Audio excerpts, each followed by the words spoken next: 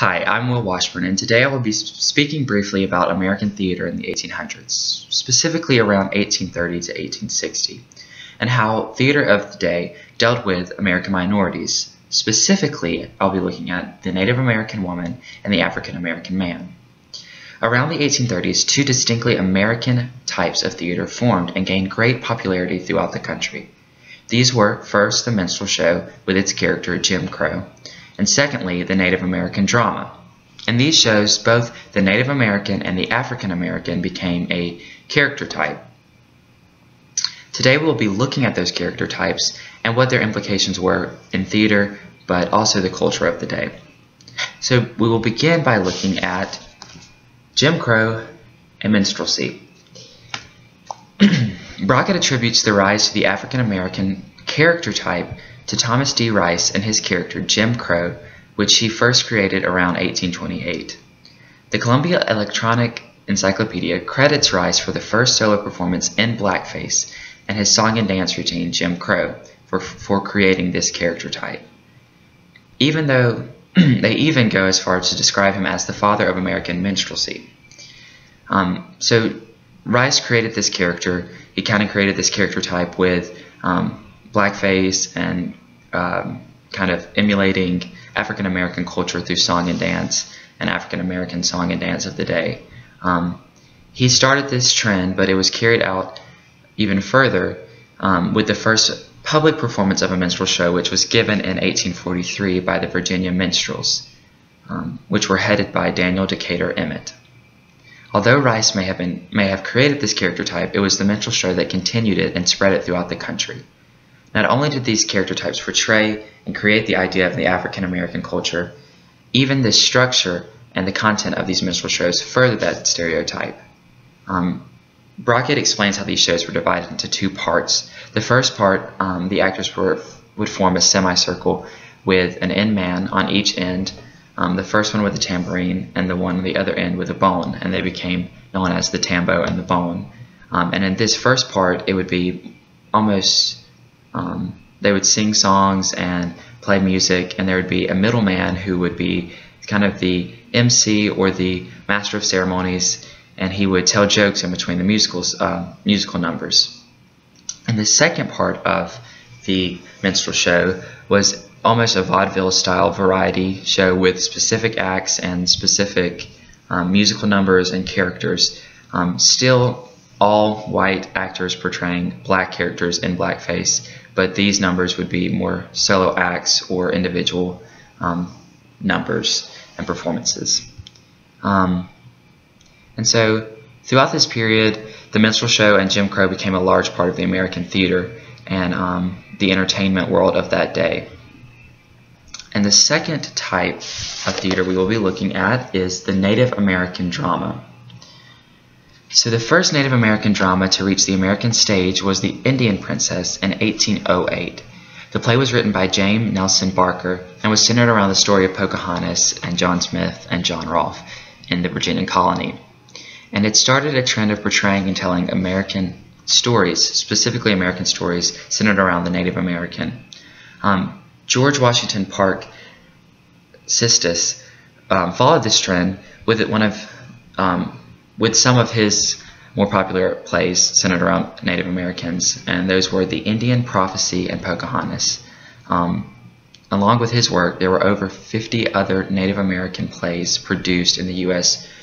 Um, in this period up until 1860. So, um, like the minstrel show, they centered around an American character type, and they gained great popularity. Um, they were far less comedic. They were more drama based with serious actors playing serious roles. Um, Forrest was a popular actor at the time. He was credited for playing a lot of the Native American roles, so it wasn't necessarily like Jim Crow. It wasn't a character type that was to make fun of, but it was nonetheless a character type and kind of furthered American stereotypes of the day. So, next I will be looking at how these types of theater created a type and um, why creating a type is important to this um, realm of theater, but also to the culture of the day. So I found a very interesting essay um, about Jim Crow and how Rice came to England and performed, um, and the character Jim Crow came to England and how it kind of had its own culture in England as well. But for the purpose of this um, paper, I looked more at American theater. But in this essay, he gives a lot of great insight to Jim Crow and the character. And um, so, what we're going to really be looking at in this section is the character type itself and what it was and how white actors portrayed this type. So, in Scriven's essay on Jim Crow, he cites a review of one of Rice's performance, um, which they claim that the personification was the beau ideal of the Negro.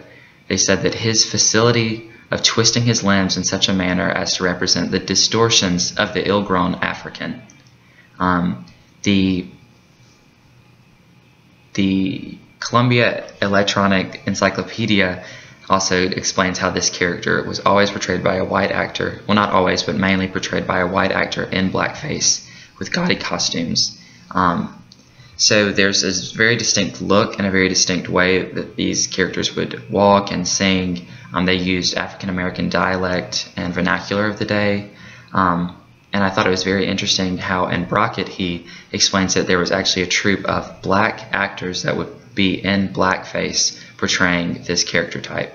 So it goes to show you that it's not they were trying to it wasn't that they were trying to portray African Americans in a very realistic and natural way because even black um, and African American actors had to transform to play this type. So it was definitely a type that they were trying to create. And the same was true for the Native American dramas of the day. Um, Afri um, not, excuse me, Native Americans were often portrayed somewhat sympathetically in these dramas, according to Brockett, and he asserts that the characterization of the Native American uh, followed the tradition of the noble savage. Um, so I thought that was interesting that yes, it is very different from blackface and Jim Crow, which almost makes fun of African Americans, but nonetheless, it follows a type. Um, it wasn't that they were trying to portray real stories, but it was almost that they had made a specific type and they fit Native American narratives into that, that character type. So, lastly, what I want to speak on is why it matters. Um, I think a lot of times in history, we look at it at theater in 1860 or events in 1860 and we can apply them to today and make them important and real today.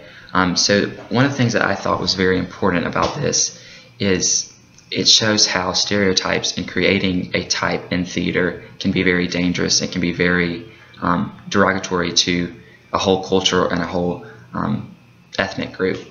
And so not, it's very obvious to see how blackface and Jim Crow belittled and um, really dumbed down African American culture in the 1800s um, with the grotesque costumes, gaudy costumes, um, using and misusing African American vernacular um, for comedy is, is one of the more obvious ways that a character type is destructive to a culture.